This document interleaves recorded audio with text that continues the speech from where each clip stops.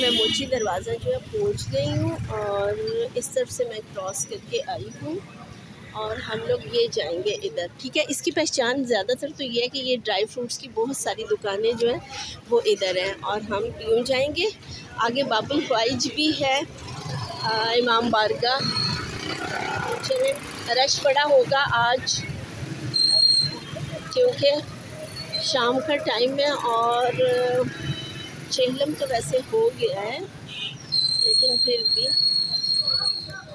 तो यहाँ पे पटाखे वगैरह और ये जो चीज़ें होती हैं ना, जैसे बर्थडे वगैरह की, वो बहुत सारी चीज़ें इजीली मिल जाती हैं, अच्छे रेट पे। ड्राई फ्रूट्स की दुकानें हैं और थाना है। ये देखिए, यहाँ पे इस तरह की चीज़ें, टॉफ़ियाँ वगैरह भी मिलती हैं ड्राई फ्रूट्स है एंड ये थाना है, हाँ, यहाँ मोची गेट का थाना। खाने पीने की काफ़ी काफ़ी सारी चीज़ें इधर हैं।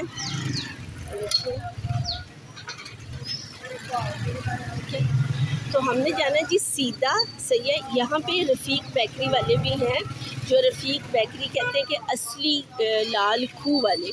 तो वो, वैसे मैंने इसमें पहले भी वीडियो बनाई हुई अगर किसी ने देखी होगी तो उन्हें शायद याद हो। तो वो कहते हैं कि जी हम जो है ना, हम ही पुराने हैं यहाँ के रहने सबसे पहले बेकरी बनाने वाले। अब दो तीन बैटरीज हैं। अब इसमें से कितने लोग हैं? एक ये है और एक वो है, ठीक है? तो अब नहीं पता कि कौन से वाले जो है, वो असली वाले हैं। ये लाल खू वाले भी कह रहे हैं कि हम लाल खू वाले हैं। Thank you.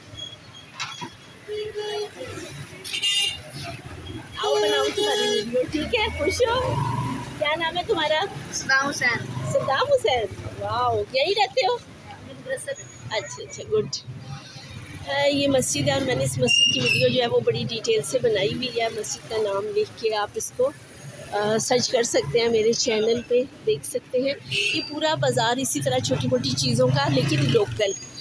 ये वाली ये सारी चीज़ें ऐसी ही हैं इसमें बर्थडे की सारी चीज़ें बच्चों की आ, कुछ गेम्स वगैरह बच्चों की कुछ चीज़ें इस तरह की चीज़ें जो वो यहाँ पर इजीली दस्तियाब होती हैं मुनासिब रेट के ऊपर।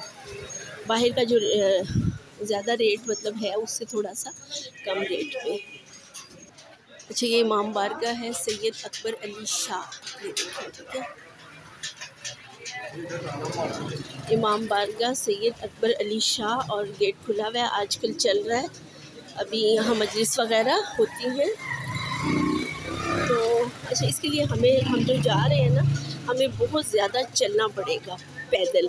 और गाड़ी वाड़ी यहाँ अंदर नहीं आ सकती क्योंकि गलियाँ बहुत छोटी छोटी और तंग तंग हैं। हाँ बाइक आ सकती है अगर आप बाइक पे आएँ तो आ सकते हो।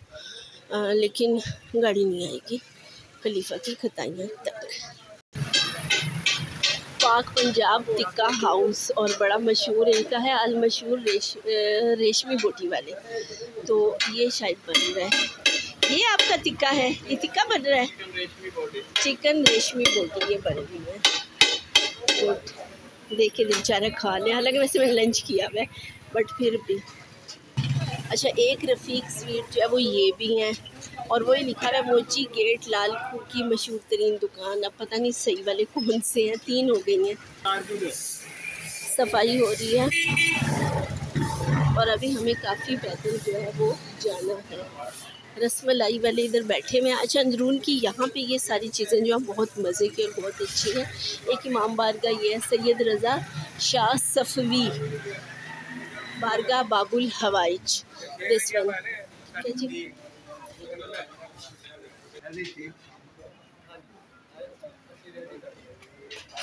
खुला चार यहाँ से मिल रहा है। ये शाही कबाब वाले हैं कोई। कबाब बन रहे हैं, बहुत अच्छी खुशबू है। अच्छा जी, ये एक चौक सा आ गया है और आप लोग वैसे पूछते हुए भी आ सकते हैं, लोग अच्छा गाइड कर देते हैं।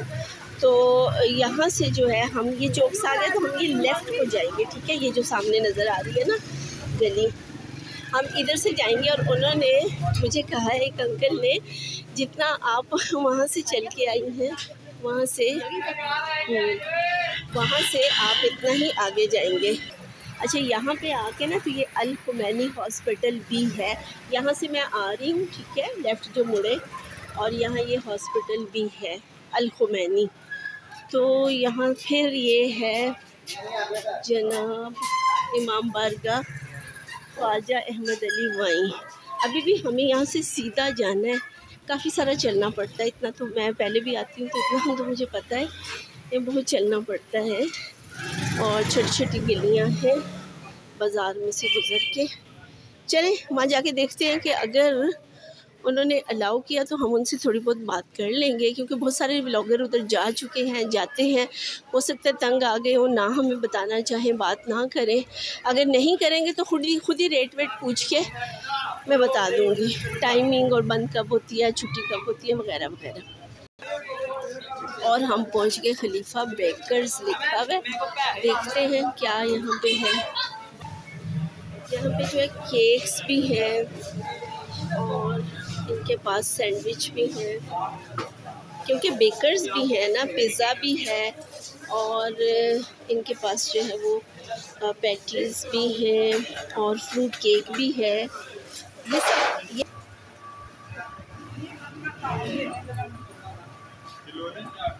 अच्छा जी, ये सुबह आठ बजे से रात दस बजे तक खुलती है और इसके अलावा इनकी कोई और ब्रांच नहीं है। मोची में इनकी ब्रांच है, फ़ूड अथॉरिटी वाले जो है वो उन्होंने इनको सर्टिफिकेट दिए हुए हैं। और ये जनाब जी उन्नीस सौ सैंतालीस से पहले से है, उन्नीस सौ सैंतालीस से पहले। और इनके अपनी जो है बिस्किट भी हैं, वही वाले जैसे बाकी बिस्किट, लेकिन क्वालिटी देखने से पता चल गया, देखिए। ये वाले बिस्किट हैं, ये ये मुझे बड़े पसंद हैं, ये भी अच्छे वाले हैं। और उसके अलावा इनकी मतलब इनके इनके पास बहुत सारी वैरायटी है बिस्किट्स की, और इनके पास जो है वो वैरायटी है ये केक रस है इनकी, और केक्स है, और जनाब इनके पास जो है अब ये जैम वगैरह मिचल्स के भी इन्होंने रखे हुए हैं। कुछ प्रोडक्ट्स रखी हुई हैं दूसरी भी। तो जनाब, ये जो है, ये उन्नीस से पहले के हैं बनाने वाले और माशाल्लाह माशाल्लाह, इनकी जो है तीसरी नस्ल वो चल रही है। ये देखिए, बेकरी की चीज़ें भी बनाई हुई हैं। अच्छा एक चीज़ मैं पूछ रही कि डिलीवरी देते हैं कि नहीं देते, वो भी पूछ लेती हूँ। दो हज़ार रुपये किलो जो है ना, वो बता रहे हैं, दो हज़ार रुपये किलो बादाम वाली हैं और सादा जो है वो चौदह सौ रुपये किलो। ये इनके नंबर हैं। आप इस नंबर पे अगर कॉल करें तो ये जो है डिलीवर भी कर देते हैं। तो ऑल पाकिस्तान में जब वो इनकी डिलीवरी है और जनाब नंबर मैंने जो है वो आ, उसकी वीडियो बना दी है आप कॉल कर सकते हैं कॉल करके आप इनको कह सकते हैं कि मुझे इतने किलो जो है वो चाहिए। तो और पूरे पाकिस्तान में ना सिर्फ़ लाहौर पूरे पाकिस्तान में इनकी जो है वो खताइयाँ डिलीवर होती हैं। तो मेरा ख्याल है कि मैंने सब कुछ बता दिया है। केक्स देखें, प्यारे हैं, बहुत अच्छे लग रहे हैं। जैसे अंदरून का एक टच होता है ना, वो इन केक्स में मुझे नज़र आ रहा है। शायद आप लोगों को भी नज़र आ रहा हूँ। और मेरे प्यारे कायदे आज़म असलकुम चले जी, ख्याल रखिएगा, अपना दुआ में याद रखिएगा। अगर कोई चीज़ मिस होगी तो मैं फिर किसी और वीडियो में बता दूँगी। ऐसी लगे हुए, ठीक है बट काम नहीं हो रहा। तो ख्याल रखिएगा, अपना दुआ में याद रखिएगा। खलीफा बेकरी का मेरा कैसा लगा व्लॉग ज़रूर बताइएगा। ओके जी, फिर किसी व्लॉग में हाज़िर होते हैं आपकी खिदमत में। ओके अल्लाह हाफिज़।